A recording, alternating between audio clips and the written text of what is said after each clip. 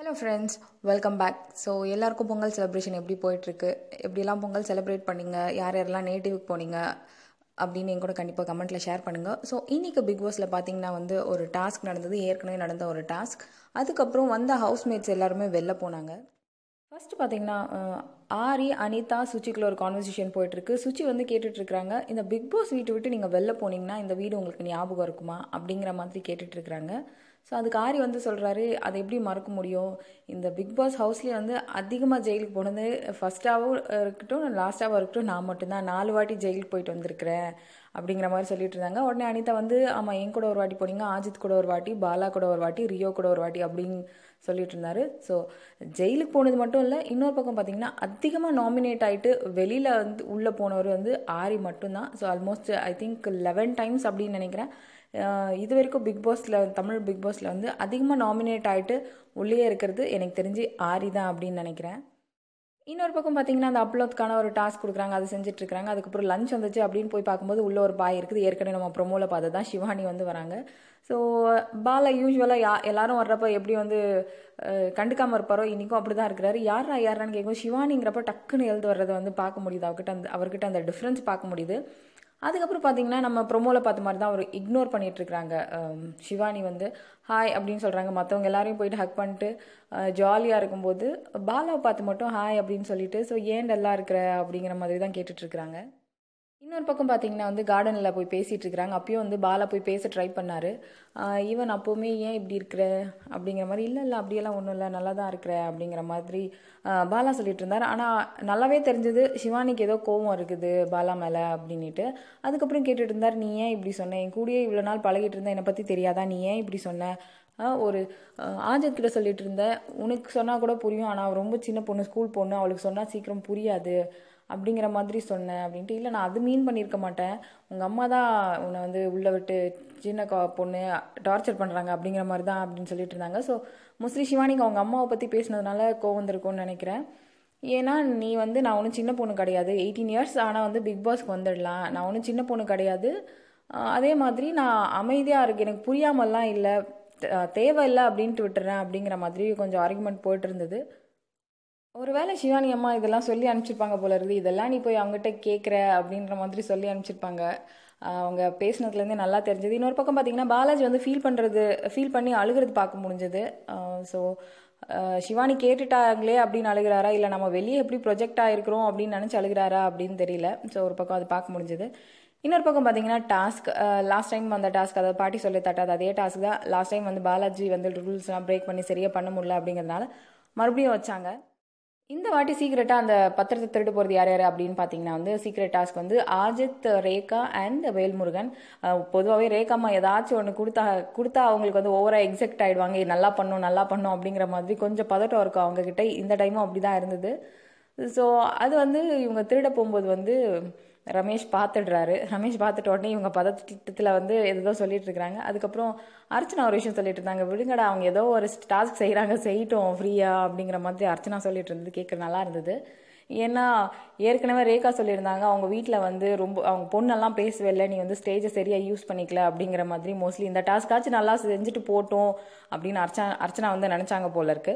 So அதுக்கப்புறம் அந்த வாட்டி ஃபஸ்ட் டைம் வந்து திருடும் போது ரமேஷ் பார்த்துட்டாரு அதுக்கப்புறம் மறுபடியும் போய் ட்ரை பண்ணுறாங்க மறுபடியும் எடுத்துகிட்டு வந்துடுறாங்க. எடுத்துகிட்டு வந்து ஓகே சக்ஸஸ் நான் முடிச்சிட்டேன் அப்படின்னு அவங்க வந்து ஒரு உண்மையாக சாதிச்ச சந்தோஷம் அப்படிங்கிற மாதிரி ஏதோ சொல்லுவாங்களே அந்த மாதிரி போய் கேமராக்கு முன்னாடி நின்று ரேக்கமாக பேசிகிட்டு இருந்தாங்க. இன்னும் அவங்கக்கிட்ட அந்த இன்னசென்ஸ் இருக்குது அப்படிங்கிறது நல்லா என்னதான் அந்த ஏஜ் ஆனாலும் அந்த இன்னசென்ஸ் இருக்குது அப்படிங்கிறது வந்து நல்லாவே தெரியுது.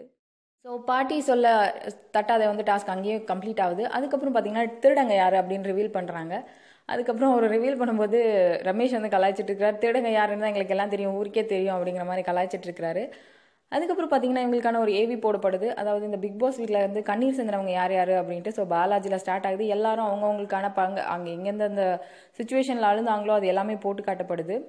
ஸோ அதை பார்த்துட்டு எல்லாருமே அழுகிறது வந்து பார்க்க முடியுது. இன்னொரு பக்கம் பார்த்தீங்கன்னா அனிதா வந்து அங்கேயே ஸ்டேஜில் சாரி கேட்டுட்டு இருந்தாங்க இது வரைக்கும் நான் யாரையாச்சும் ஹர்ட் பண்ணுற மாதிரி பேசியிருந்தீங்கன்னா சாரி என்னை மன்னிச்சிருங்க அப்படின்னு வந்து ரொம்பவே ஃபீல் பண்ணி கேட்டுட்டு இருந்தாங்க அது வந்து பார்க்க முடிஞ்சுது. ஸோ அதுக்கப்புறம் பார்த்தீங்கன்னா வந்து எல்லாரும் வெளியேறதுக்கான ஒரு டைம் வந்துடுச்சு. அதாவது ஹவுஸ்மேட்ஸ் ரீஎன்றவங்க ஆன எல்லாருமே வந்து வெளில போகணும் அப்படிங்கிற மாதிரி பிக் பாஸ் சொல்லிட்டு இருந்தார். இன்னொன்று அந்த ஏவி போட்டப்போ நீங்கள் வந்து உங்கள் ஃபேஸ் காமிச்சு இந்த பிக் பாஸ் வீட்டில் வாழ்ந்துட்டு இருந்தீங்க. நான் வந்து என்னோட குரல் காமிச்சு வந்து குரலை வச்சு இந்த பிக் பாஸில் வாழ்ந்துட்டுருக்குறேன் அப்படிங்கிற மாதிரி சொல்லிட்டு இருந்தார். ரொம்ப டச்சிங்காக இருந்தது அந்த ஒரு மூமெண்ட் வந்து.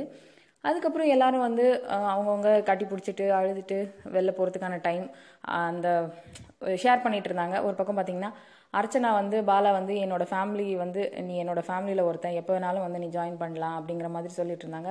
இன்னொரு பக்கம் வந்து அனிதா வந்து ஆரியை வந்து ஹக் பண்ணிட்டு கப்பு வாங்கிட்டு தான் வரணும் அப்படிங்கிற மாதிரி சொல்லிட்டு இருந்தாங்க. அதாவது கப்பு முக்கியம் குமார் அப்படிங்கிற மாதிரி தான் சொல்லிட்டு இருந்தாங்க.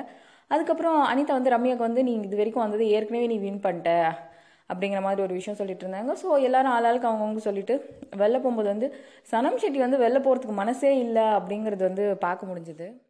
ஏன்னா போய் சோஃபாவில் உட்காந்துட்டு அழுதுட்டு இருக்கிறாங்க. அப்புறம் போனாங்க. இல் அப்புறம் மறுபடியும் வந்தாங்க. வந்துட்டு கீழே குனிஞ்சு பிக் பாஸ் அந்த என்ட்ரன்ஸ் கிட்ட முத்தம் கொடுத்து என்னது எனக்கு இந்த வீடு அவ்வளோ முக்கியம். என்னோட சொந்த வீடு அப்படிங்கிற மாதிரி ரொம்பவே ஃபீல் பண்ணி பேசுறது பார்க்க முடிஞ்சது. ஏன்னா அவங்க வந்து பெரிய எக்ஸ்போஷர் இல்லாத டைமில் வந்து இந்த பிக் பாஸ்க்குள்ளே வந்து அந்த ஒரு அன்ஃபேர் எவிக்ஷன் அப்படின்னு நடந்தப்போ அவங்க வெளில போனப்போ அவங்களுக்கு கிடைச்ச அந்த ஒரு எது அதாவது அந்த ஒரு சப்போர்ட் வந்து நிஜமாக பெரிய சப்போர்ட் அது அவங்களால மறக்க முடியாது. ஸோ அதனால தான் வந்து அவங்களுக்கு எமோஷ்னலாக வந்து ரொம்ப இதாகிட்டாங்க போல இருக்கு. ஸோ அவங்க ரொம்ப எமோஷ்னலாக அழுகிறது வந்து பார்க்க முடிஞ்சது. இன்னொரு பக்கம் பார்த்தீங்கன்னா அனிதா வந்து இன்றைக்கி இன்னைக்கு தான் ஃபர்ஸ்ட் டைம் எனக்கு தெரிஞ்சு அவங்க அப்பாவை பற்றி பேசியிருக்கிறாங்க அப்படின்னு நினைக்கிறேன். ஏன்னா இதுக்கு முன்னாடி ஃபர்ஸ்ட் அந்த டே ஒன்லேருந்து பார்த்தீங்கன்னா நான் ரொம்ப கஷ்டப்பட்டு ஃபேமிலியிலேருந்து வந்தேன். நான் ரொம்ப கஷ்டப்பட்டேன். இந்த மாதிரி பண்ணேன் நான் இவ்வளோ கஷ்டப்பட்டிருக்கிறேன் அப்படின்னு சொல்கிறது தான் நம்மளால் பார்க்க முடிஞ்சது. எங்கள் அப்பா அம்மா இவ்வளோ கஷ்டப்பட்டு என்ன பண்ணாங்க அப்படின்னு நான் எனக்கு தெரி பெருசாக நான் வந்து அப்சர்வ் பண்ணல. ஸோ இன்றைக்கி ஃபர்ஸ்ட் டைம் சொல்லியிருந்தாங்க அப்போ நான் கேம் நல்லா விளையாடினேன். நீங்கள் பார்த்துக்கோங்க நீங்கள் ப்ரௌடாக ஃபீல் பண்ணுவீங்க அப்படின்னு சொல்லிட்டு இருந்தாங்க பட் அப்போவுமே வந்து அவங்கள மென்ஷன் பண்ணி சொல்கிற மாதிரி தான் எனக்கு தோணுச்சு. பட் இருந்தாலும் அவங்க ஃபீல் பண்ணி சொல்லிட்டு இருந்தாங்க அது வந்து குறை சொல்ல முடியாது.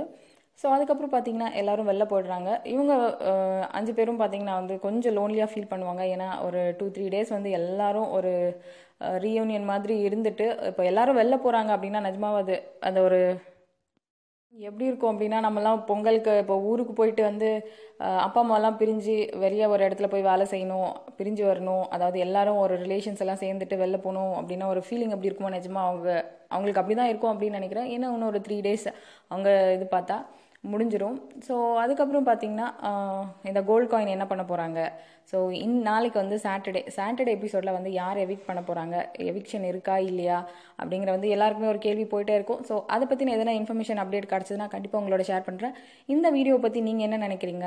யார் எவிக்ட் ஆகுவாங்க? இந்த கோல்ட் காயின் வச்சு என்ன பண்ண போகிறாங்க அப்படின்னு கண்டிப்பாக என் கூட ஷேர் பண்ணுங்கள் மறக்காமல் உங்களோட பொங்கல் செலிப்ரேஷன் என் கூட ஷேர் பண்ணுங்கள் மறுபடியும் ஒரு இன்ட்ரெஸ்டிங்கான வீடியோவில் உங்களை மீட் பண்ணுறேன் until then take care bye